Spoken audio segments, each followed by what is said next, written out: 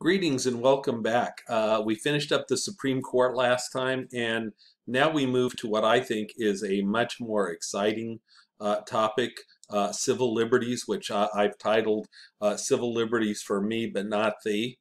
Uh, there are five overviews that uh, I'm going to begin this topic with and I'm not sure that I will get to all five of them in this lecture, but I certainly am going to try. The lecture title, Civil Liberties for Me But Not Thee, uh, was uh, something that I came up with after looking at several decades uh, worth of survey research looking at how Americans view civil liberties, how Americans view democratic values, and uh, there is an incredible uh, disconnect between theory in practice. Uh, it doesn't matter the decade. I actually went back to the 1940s, although there aren't many uh, surveys from the 40s, but 50s, 60s, 70s, 80s, 90s. In fact, the last one that I looked at was, uh, I don't know, maybe six months uh, ago or so. Uh, the questions vary a little bit, but invariably, uh, Americans are very supportive of both civil liberties and democratic values.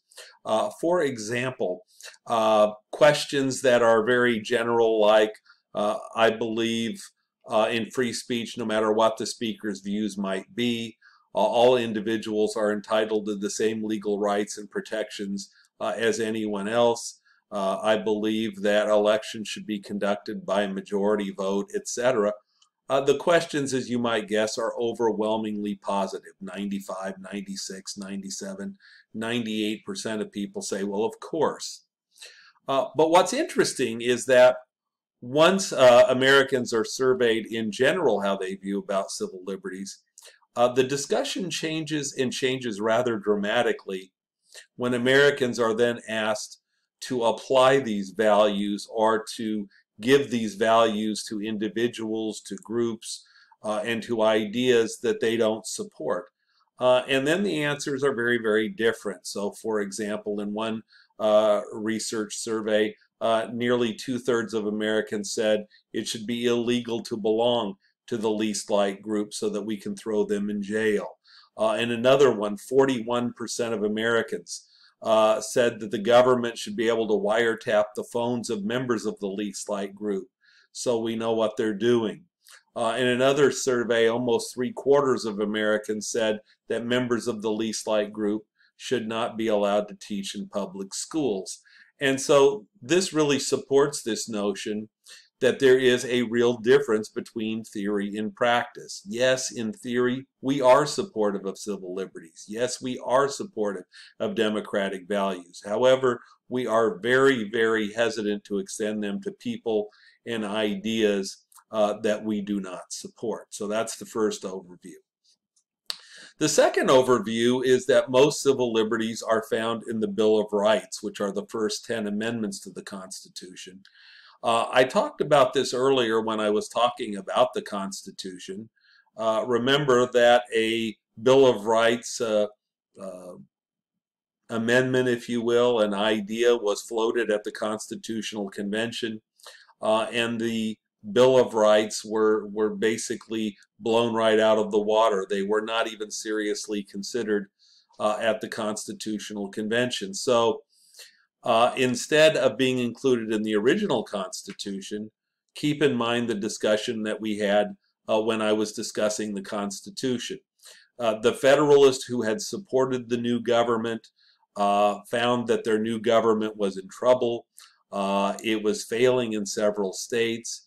Uh, and so in order to save their structure of government, which they wanted, the Federalists reached out to the Anti-Federalists and said, uh, we will promise to add a Bill of Rights uh, if you will support this Constitution.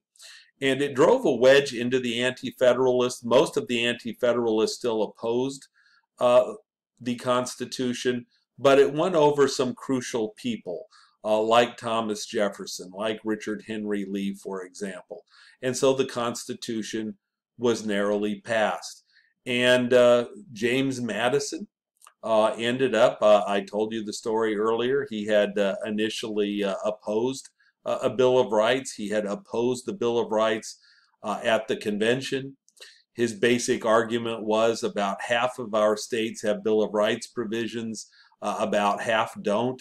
Uh, if states want to abuse the liberties of the people, there is nothing that any paper guarantee is going to do to protect them. Uh, and yet Madison becomes the author uh, of the first 10 amendments. So uh, that third overview that the Bill of Rights were promised and later added to gain support for the Constitution uh, is uh, is the net result. And remember, uh, I, I, said that that battle between the Federalists and the Anti-Federalists led to this last important compromise.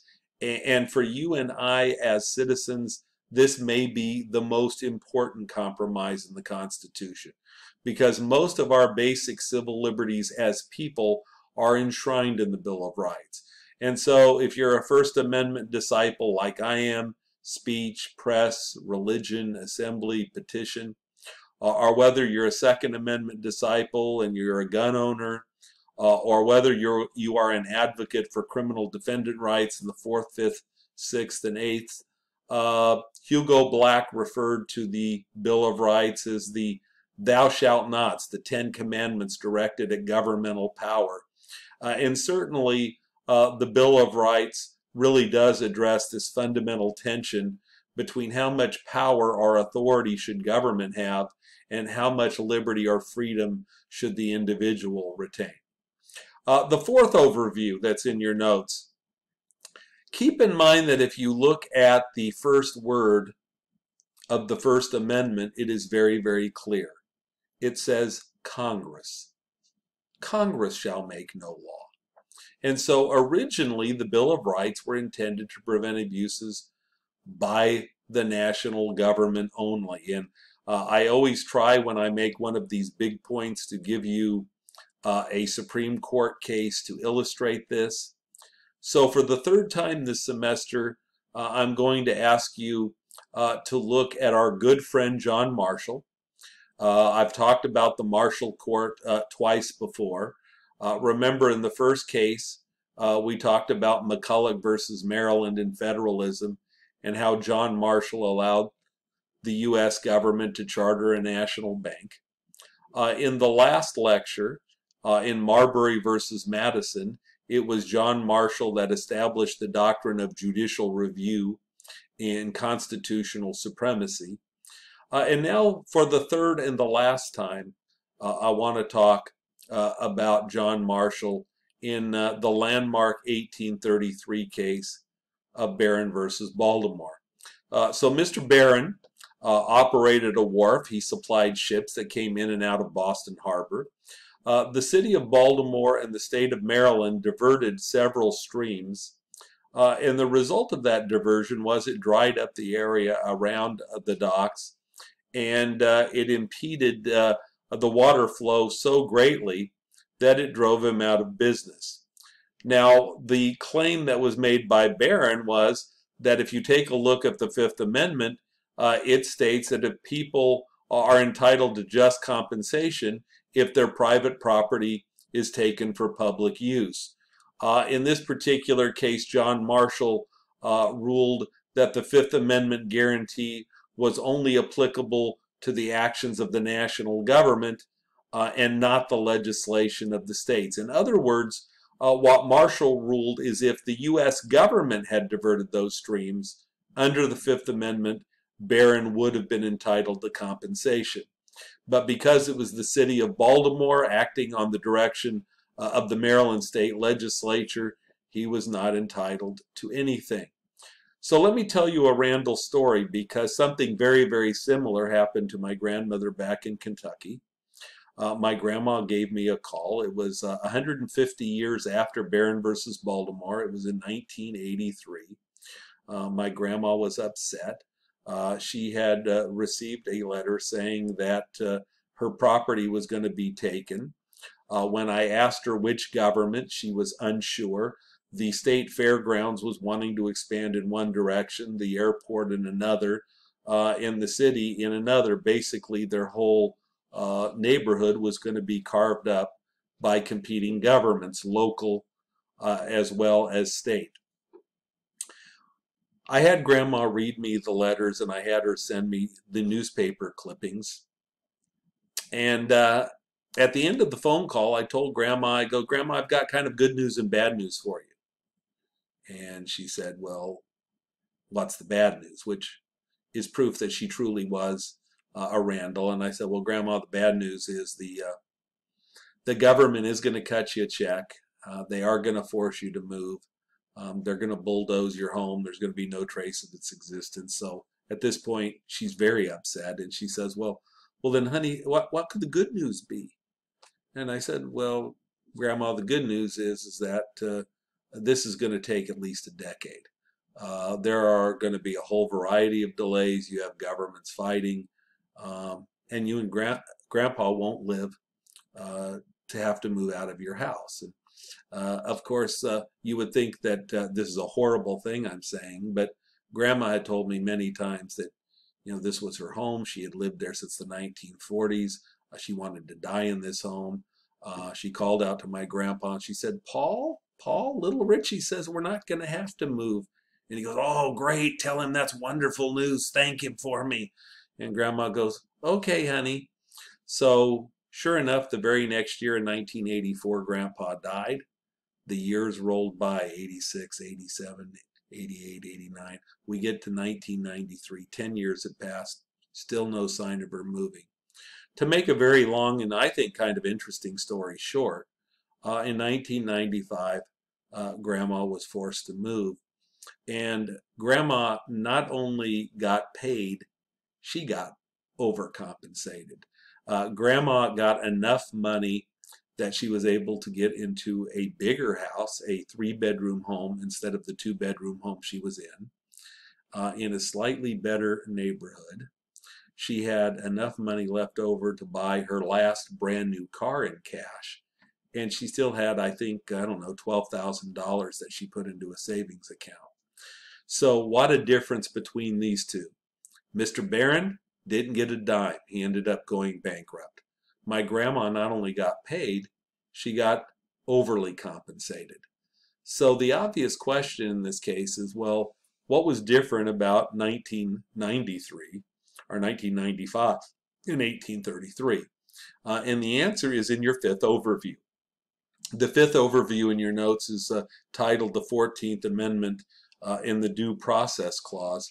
Uh, and essentially, if you look at the 14th Amendment, it reads very different than the Bill of Rights. In the Bill of Rights, um, right, it says Congress. Congress shall make no law. It was obviously intended uh, for only the national government. In the case of the 14th Amendment, uh, if you read it, it states very, very different. The 14th Amendment says no state no state shall deprive any person of life, liberty, or property without due process of the law. Uh, and so the 14th Amendment has become the vehicle in which the Supreme Court has used what I have labeled in your notes the incorporation doctrine, right? This is a principle in which the Supreme Court has held that most of the guarantees, there are a couple that have not been incorporated yet, but virtually every major guarantee in the Bill of Rights now limits state and local governmental actions by making those guarantees applicable to the states through the due process clause. Now, this did not happen uh, in one fell swoop. Uh, as your notes say, this uh, incorporation occurred gradually and slowly uh, from 1925 uh, to 1972. Uh, this began uh, in the arena of speech. We'll talk about the case of Gitlow versus New York in the next lecture. Uh, that uh, was the first case. Uh, and then freedom of the press in 1931. Uh, and then freedom of religion in two distinct cases in the 1940s. And then we see most of the criminal defendant rights provisions, uh, the fourth, the fifth, and the eighth amendments were all incorporated by the Warren Court uh, in the 1960s. So uh, I've gone through your, uh, your first five overviews. in the next lecture, I will be starting with the First Amendment freedoms.